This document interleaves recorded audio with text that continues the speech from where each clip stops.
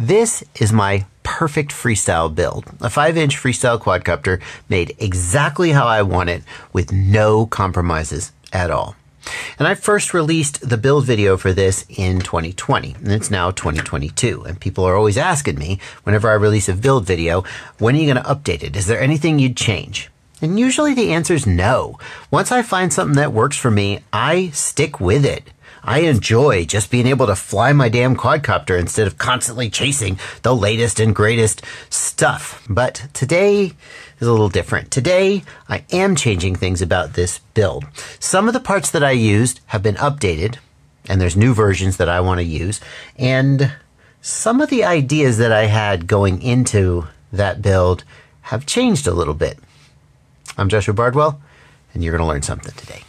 Let's start with something that hasn't changed since 2020. My favorite frame at the time was the Lumenier QAVS.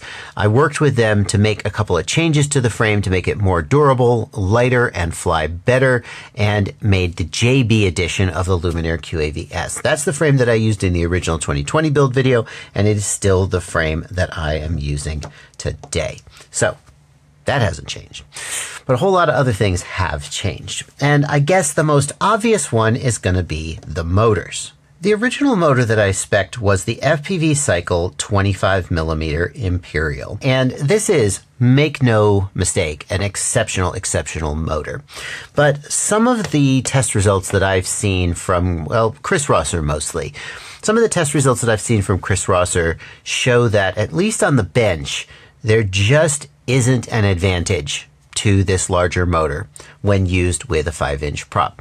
That this motor is really, really good on like a 5.5 inch or a 6 inch prop where the additional torque that the larger motor volume makes can actually be used. But on a 5 inch prop, a smaller motor like a 2207 can make enough torque to accelerate that motor that the responsiveness of the prop is not improved by going to a larger motor and the 25 millimeter motor is significantly heavier than a 2306 or a 2207 motor. So the argument goes that we're adding uh, as much as maybe six or seven grams per motor by going with the Imperials to no real benefit, at least in the bench testing. Now, uh, I know that bench testing may not be the be all end all of motor performance, but I also know that flight testing is very, very subject to confirmation bias and placebo effect. So I'm giving these motors one last chance. I'm building three identical versions of this quadcopter, one of them with the latest version of the FPV Cycle Imperial 25 millimeter, one with the probably the best value 2207 motor you can get, the iFlight Xing 2. And this is a FPV cycle motor that is in prototyping that Bob asked me to test that I'm not supposed to say more about. So we're going to build three of these. We're going to try them. I maybe even do like a blind test where I don't know which one I'm flying. And, uh, then I'll make a final decision. But where my head's at right now is that a 2207 motor, a really good quality 2207 or maybe a 2306.5, something in that size range in the 33 or 34 grams range is going to give you the best performance and save you a fair amount of weight compared to a 25 millimeter motor weighing closer to 39 or 40 grams. The flight controller for this build is still the JBF7, but this time it is the JBF7 V2. We've updated the flight controller to a new version with a few improvements. Uh, for example, we finally have a USB-C plug. Isn't that nice? There are some diagnostic LEDs. Uh, it does have a barometer, and now it can run iNav if that's what you want. Uh, and it also has plugs on the bottom to make it, if you if you prefer to use plugs instead of soldering, you can swap the ES or the flight controller easier just by unplugging the peripherals and plugging the new flight controller in. I am switching to the V2 just because it's the latest and I should probably fly you know, the latest on my own quad.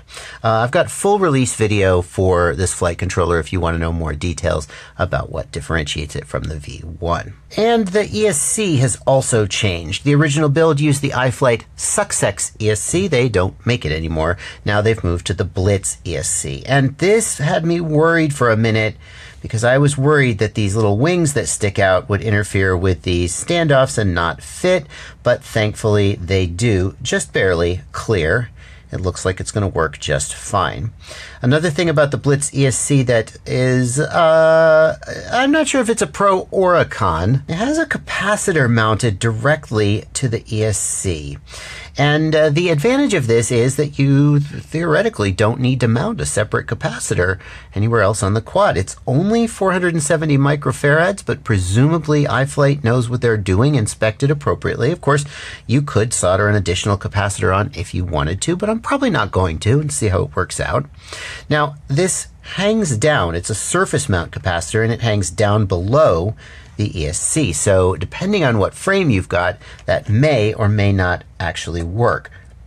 Thankfully, the QAVS has a convenient cutout that that capacitor can sit into. However, I am just waiting to see how long it is until that gets knocked off in a crash. It's fairly protected by the arms. Maybe it'll be okay. I know a lot of people who knock these off though, and they have to solder capacitor on. So, yeah, some people they just break it off and they solder a new one on. I probably won't do that. We'll see how it goes. Here's where we are in the build right now.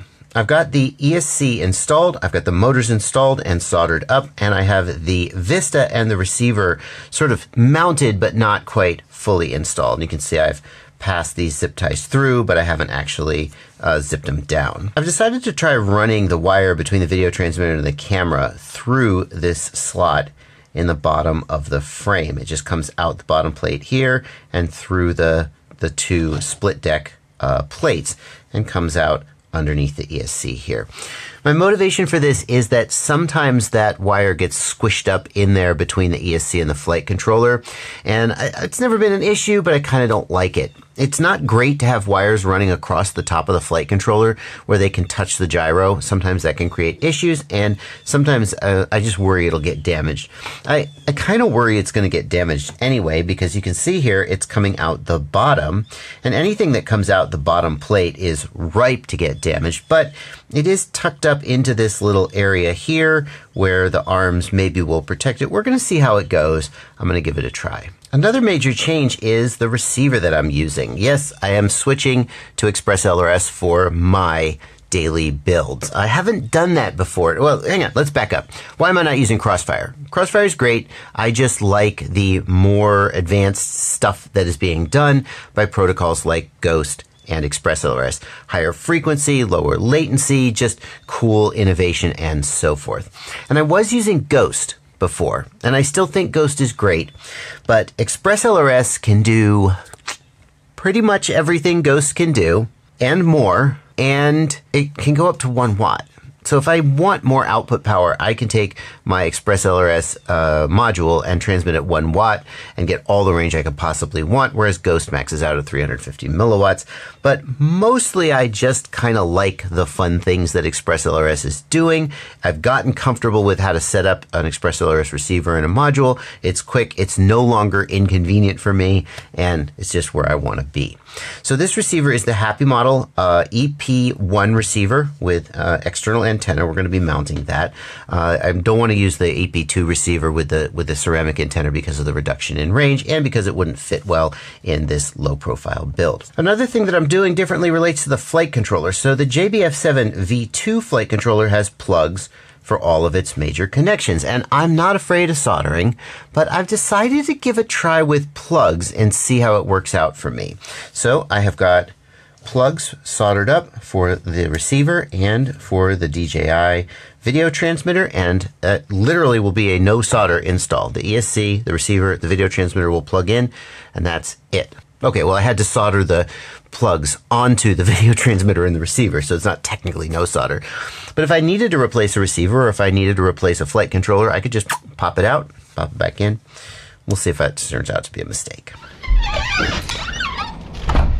Well, and of course you guys want to see it fly, so I'm going to just rip one pack here for you.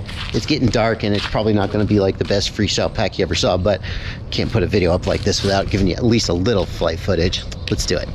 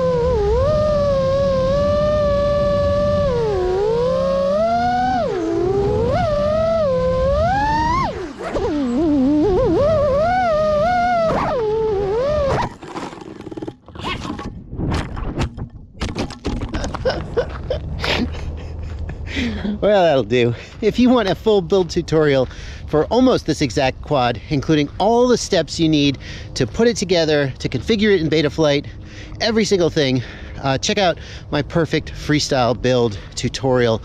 Uh, I'll put a link down in the video description and I'll put an updated parts list in the video description as well if you want to pick up the newer parts. The actual steps for putting it together are basically the same. It's just there's slightly different parts. Um, that's going to do it for this video though. Thank you so much for watching and happy flying. It does fly. It flies good flies good. I'm so relieved every time I freaking finish a build and go fly it and there's not some BS thing wrong with it. And it's like going, da, da, da, and you're like, why is it doing that? I just built it, it's perfect. That never happens to me, of course.